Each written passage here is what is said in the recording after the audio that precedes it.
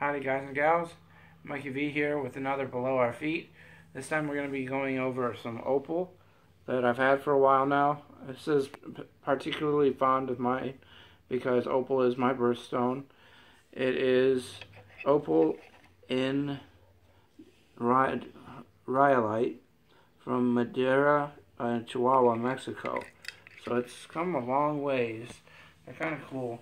I'm not entirely certain if there are places that you can mine your, for these yourself. I know there are several places that have uh, you can mine, like there's amethyst and all sorts of other stuff.